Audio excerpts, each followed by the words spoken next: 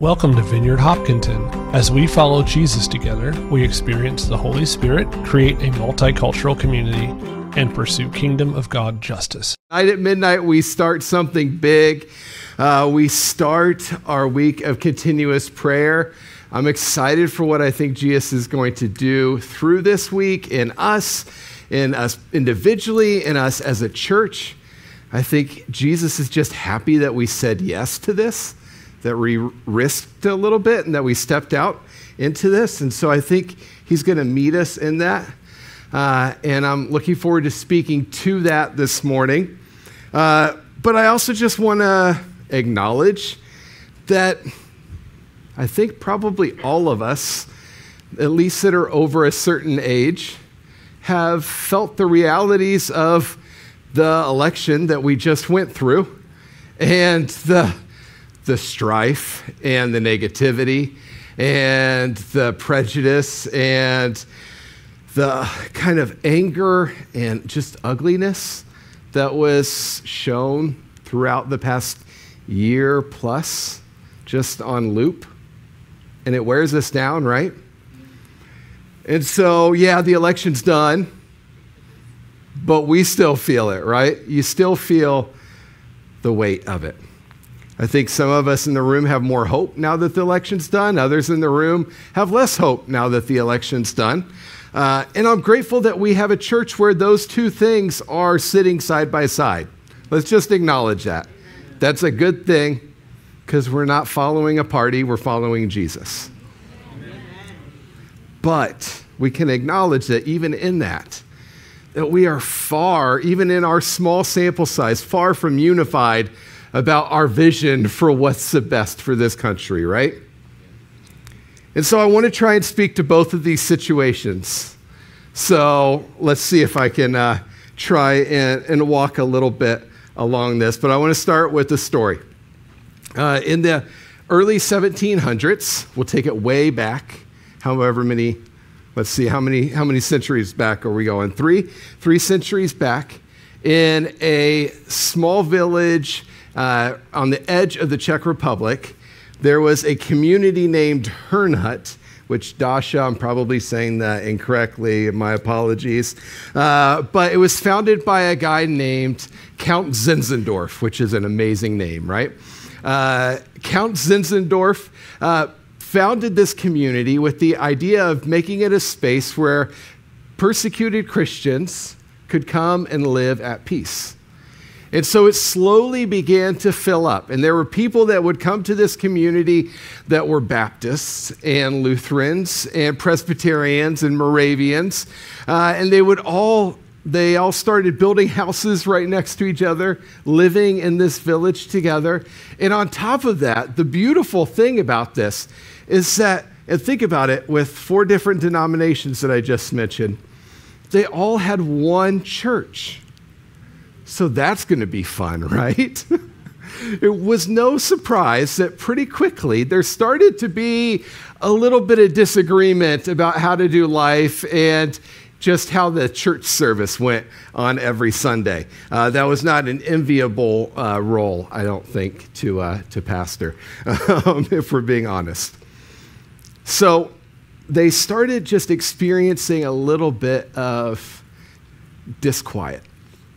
And so Count Zinzendorf decided that he was going to go and visit every single house in the village and just to pray. So he went and met with each one of the families, whoever was living there, and they prayed. They talked about what the Bible says about unity, and then he would go to the next door and he would do the same thing. Made his way all the way through the village doing that. And as that's happening, things are starting to get better, but they're not, they're not fixed. There's still some, some serious issues. And so, about three months after he did that, Zinzendorf and 14 others had an all night prayer meeting. The next morning, this 11 year old girl named Suzanne, who had been praying on her own for their community for three days straight, started all of a sudden having these amazing experiences of the Holy Spirit. And the first place that something started to happen was with the kids. And the kids started experiencing what it was that the Holy Spirit was wanting to do in their community. And this revival began. Four days after that, the pastor of their little village church was leading a service, and he said that he felt overwhelmed by the wonderful and irresistible power of the Lord, and he sank down into the dust before God. And with him, the whole congregation sank down. And in this way, they continued until midnight in prayer, singing, weeping, and begging God to move. Everybody just sitting on the dirt, crying out for God to come and to do something. Two weeks later, this village that was struggling to make probably basic decisions around which grape juice to use in their communion service decided together collectively that they were going to start doing 24 hour prayer. And so they started a rotation, adults and children alike, that lasted for 100 years. Out of that one moment. You see, unity came in God's presence. Count Zinzendorf explained it this way. He said that the Savior permitted to come upon us a spirit of whom we had not before had any experience or knowledge. Before we had been the leaders and the helpers. Now the Holy Spirit Himself took full control of everything and everybody. I think, regardless of where you're coming from this morning, if you're in this space, even if you're not quite sure why, there's probably at least part of you that's saying, you know, at this point, I'm willing to give the Holy Spirit a chance to be in control of everything and everybody. And so I want to pray for us, invite Him to come and to begin to move in us. So let's pray.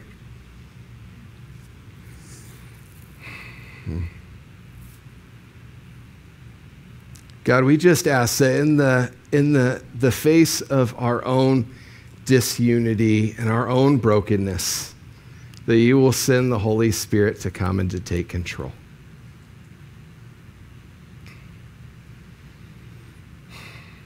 Not us, not another uh, human, but you, Holy Spirit, come and be in charge.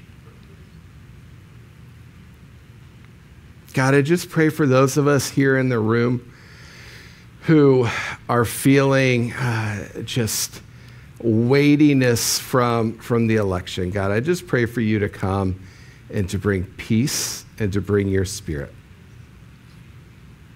God, I pray for those of us in this room who, over the past couple of weeks, have experienced pain and struggle, either in our own hearts and minds or with people that we love. I just ask for you to come and to bring peace in your presence.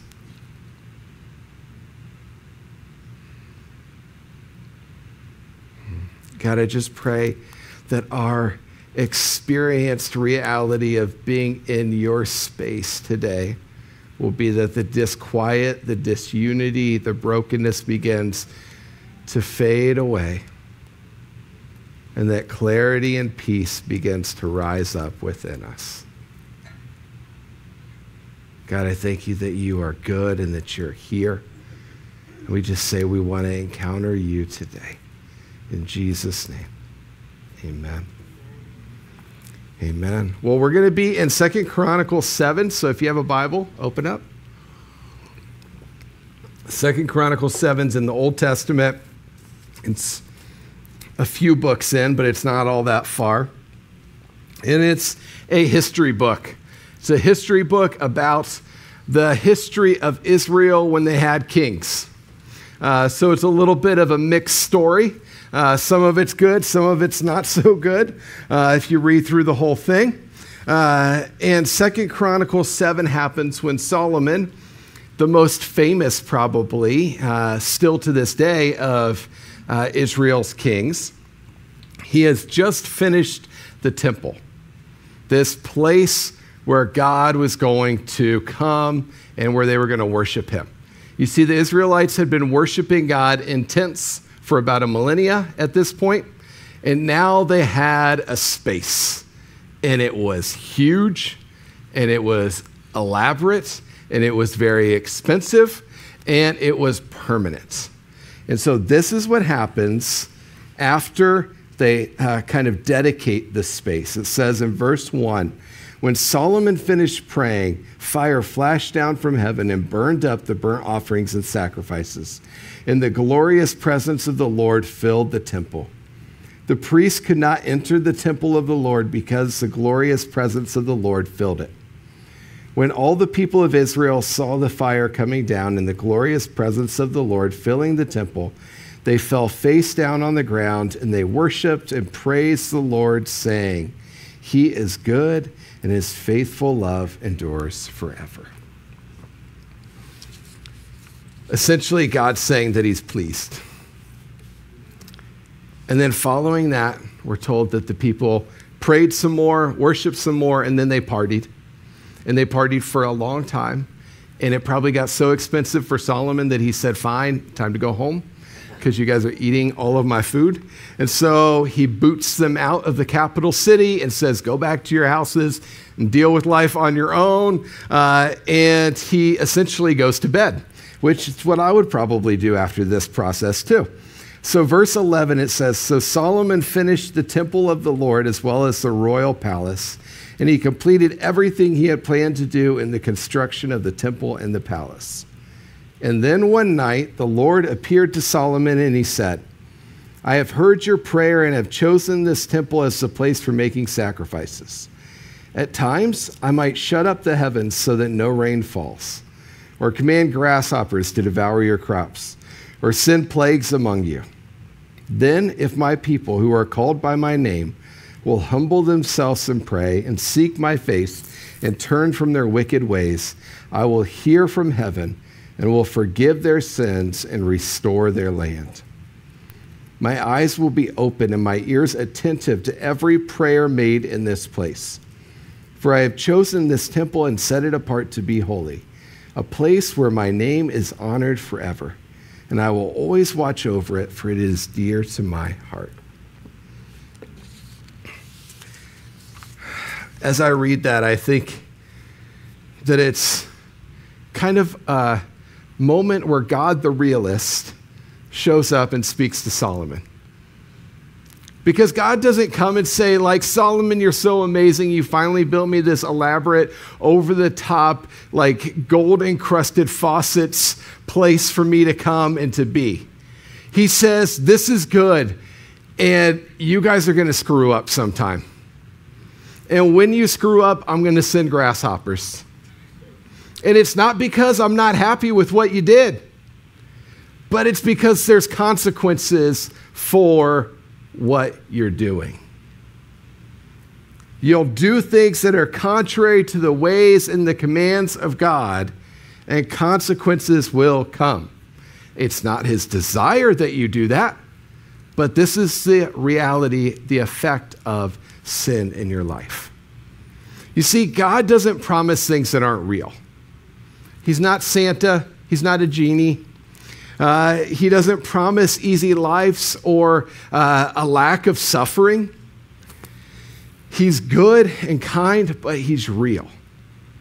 And He acknowledges that in our lives we do things that have consequences. Sometimes things just don't go as planned because we live in a world that's fallen where there's sin and evil and brokenness and disease and heartbreak. There's suffering. And all of these things affect our lives, and we feel the effects of these things in our lives because we live in a world that is broken. And yet, God gives hope because our world isn't supposed to be broken. Our lives aren't supposed to be broken. There's better that He wants for us. And you can begin to hear the echoes of what's to come. with a world that's longing for restoration to the way that God wanted it to be, the way that God created it in the very beginning. For a humanity that is crying out and saying, I'm tired of the suffering and the evil. And I want restoration. I want things the way that I kind of feel like it should be. Do you ever feel the crying out that's going on? Maybe in your own heart?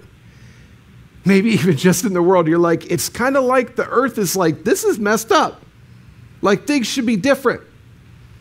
There's a longing for something more. We long for Jesus to make things new. But for now, we have to deal with the reality that things are broken. Sometimes there are consequences, but, and here's where the kindness of God shows up, even as he's being a realist. But, even though consequences are expected, if my people called by my name. Okay, let me just real quick, because lots of things have been said about this verse. So, is this to a specific nation or people group? Yes.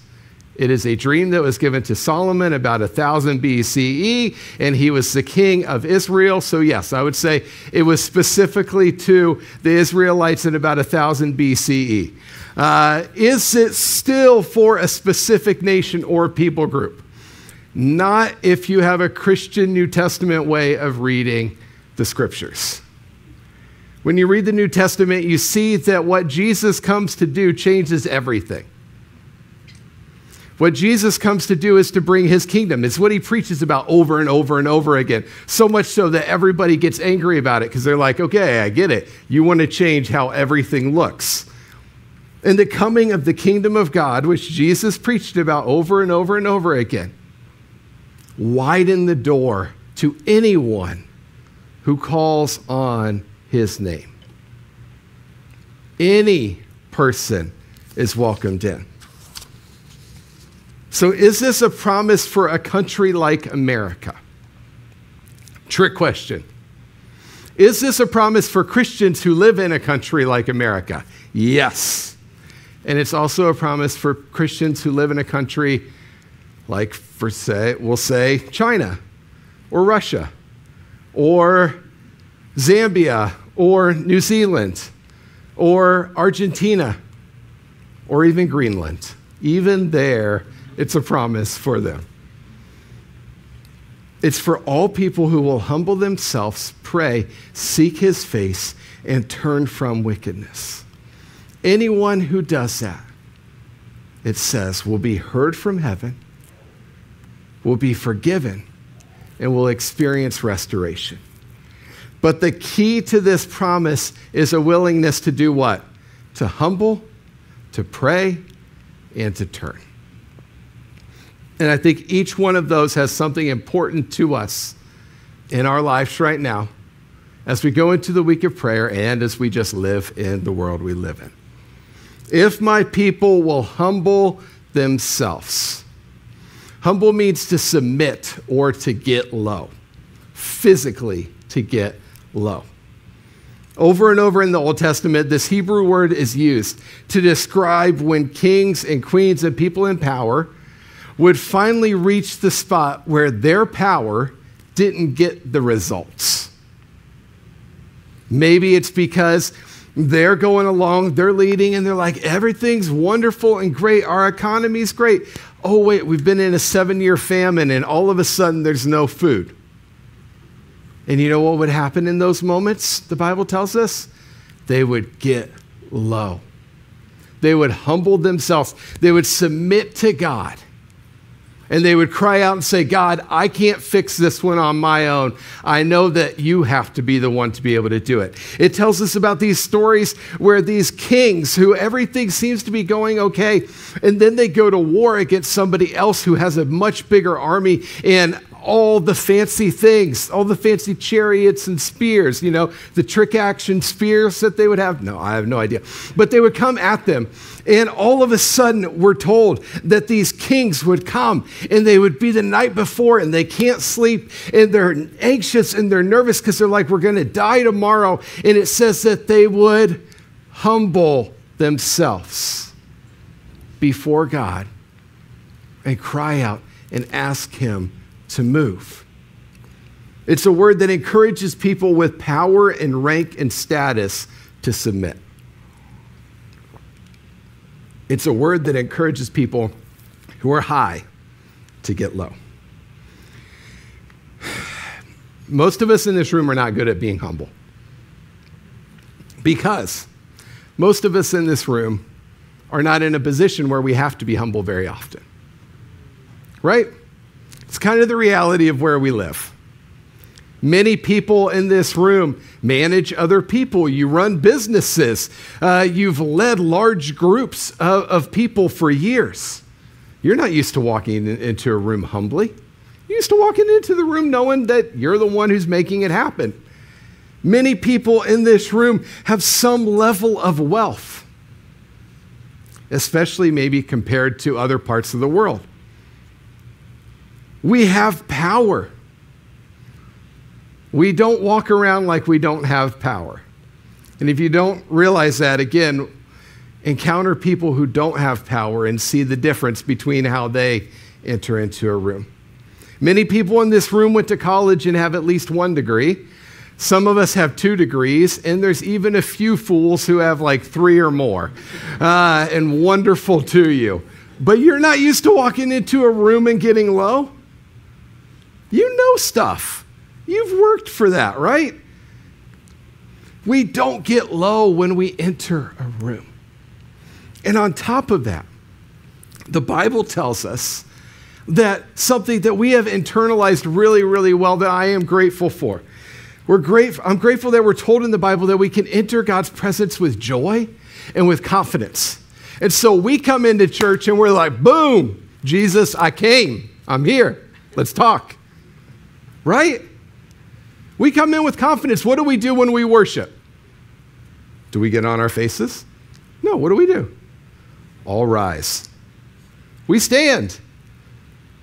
We look at God. We engage with Him. It's good. The Bible tells us to do these things. Sometimes we even sit cross legged casual because we're like, I'm allowed to be here. He welcomed me in. And all of this is good but I wonder if we've overemphasized the casual and confident a little bit too much when it comes to being in the presence of God.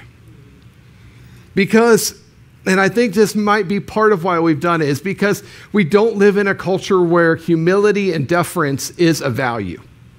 We live in a culture where pride and self confidence is a value. And so we go into God's presence with the same thing that we want to go into work with except I'm not negotiating a business deal. I'm going into the presence of God. And I'm going in with the same attitude. And so God asks us to humble ourselves, to get low in his presence. Friends, humility before God requires getting physically low. The Bible tells us this a lot. Psalm 95, 6, for instance, says, Come, let us worship and bow down. Bow. Let us kneel before the Lord our Maker. We don't do this because a song lyric tells us that we should. We do this because we're coming into the presence of God. In Numbers 20, verse 6, we're told of Moses and Aaron. It says that Moses and Aaron turned away from the people and went to the entrance of the tabernacle where they fell face down on the ground. Then, in the glorious presence of the Lord, appeared to them. When did it appear? When they started walking? No, when they got on their faces. That's when God showed up. God, Father, Son, and Holy Spirit, is so beyond me that I am not worthy of being in his presence. But yet he welcomes me in. And it's a gift. And I'm grateful for that gift. But it doesn't change the reality that he's God and I'm not. And I don't know that we acknowledge that quite enough. What would change in us if we got low in the presence of God regularly? You know, this week, Sarah and I and some of our leaders were at a conference in New Jersey for the Vineyard. And one of the speakers started talking about this. And uh, he, uh, he told a humorous story about trying to get lower than the guy who was next to him. Um, and it didn't work out particularly well for him.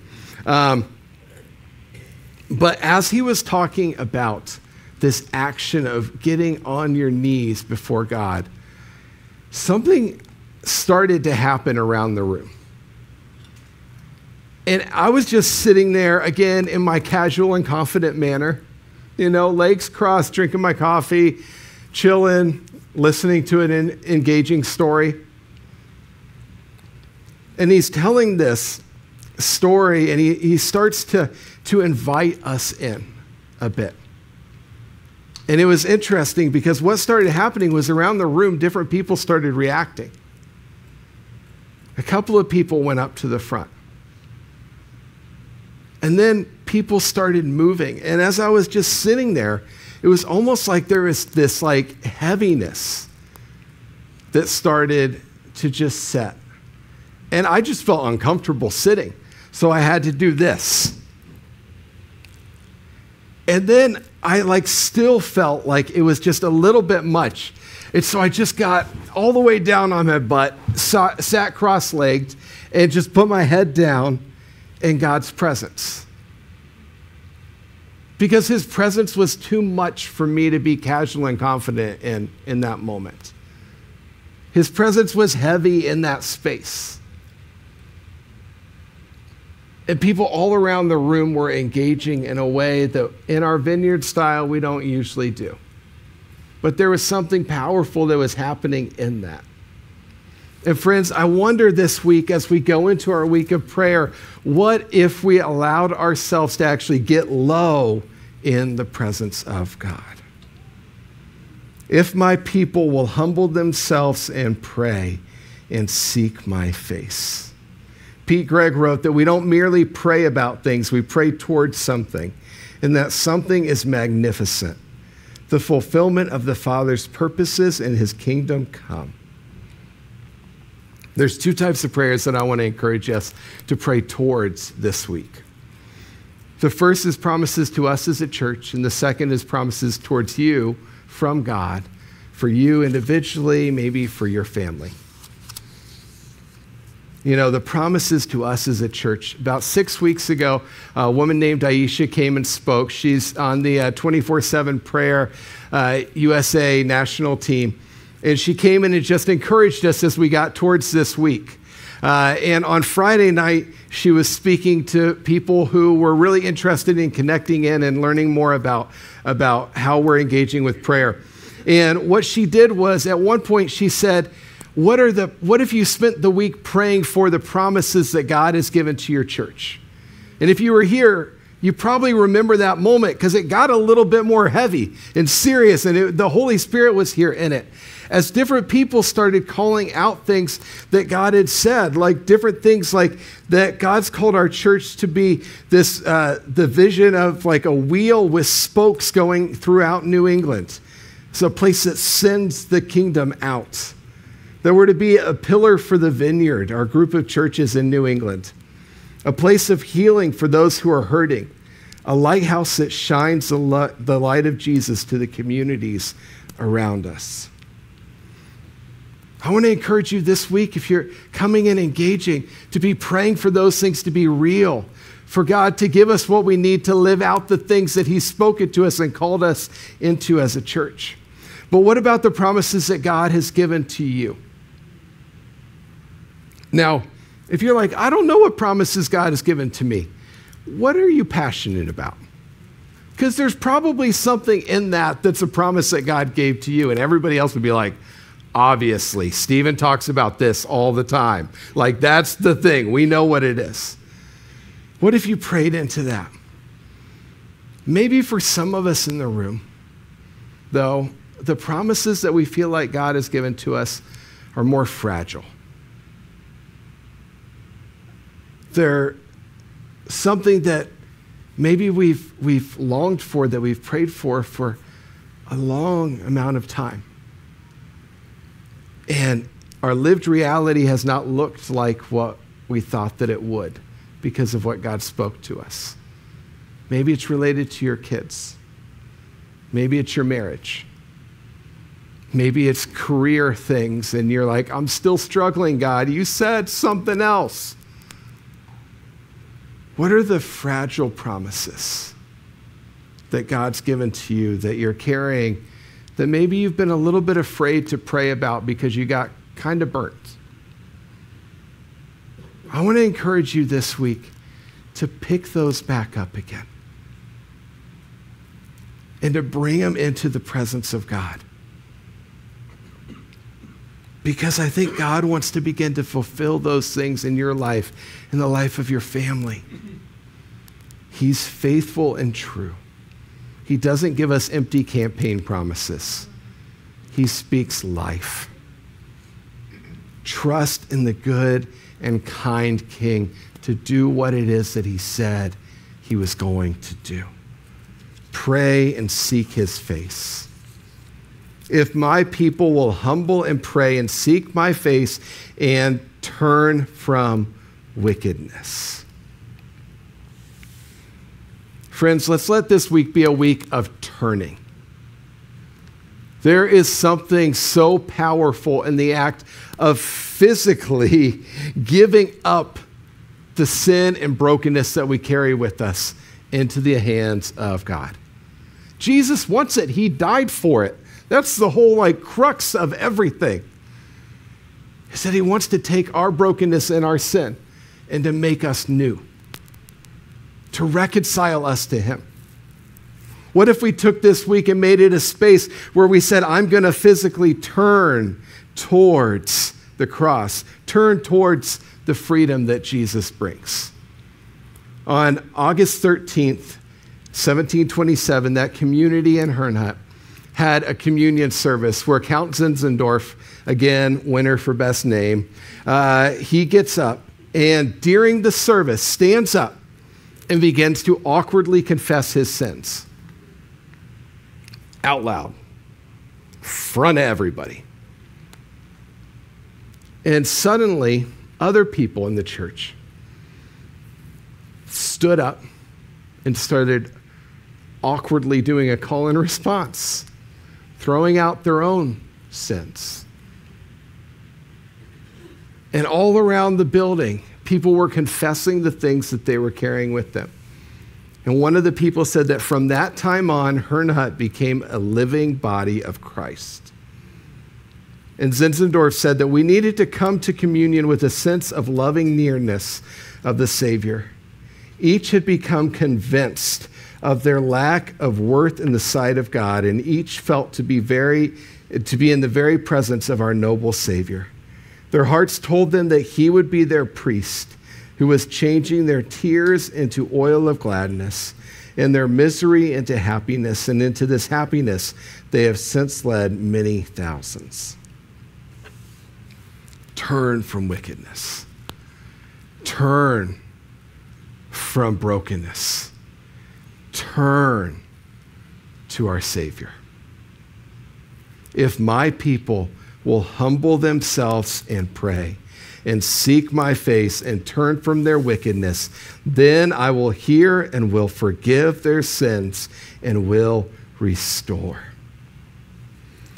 Friends, the promise, if we live out these practices, is that God will move and change things. But the most important thing, because we could trust that God will do his end of it, the most important thing for us is that we have to move. We have to begin. It's like what Charles Spurgeon, the great preacher, once said that we need to give ourselves wholly to holy things. And what I want us to do, uh, Sarah, if you and the others want to head back to the back, we're going to do a couple of things. But the first thing that I want us to do is I want us just to commit to giving ourselves wholly to holy things. And that's a weighty thing to, to give yourself towards. Are you willing to give your whole self to holy things? To Jesus. So, what I want to invite you to do, if you're willing, and you say, Yes, I want to do that, just put out your hands, and I want to just repeat this together. Can you put that last slide up again, Jenny, as we say this together. We're just going to say, Jesus, I give myself wholly to holy things. So if you're willing, just say this with me Jesus, I give myself wholly to holy things.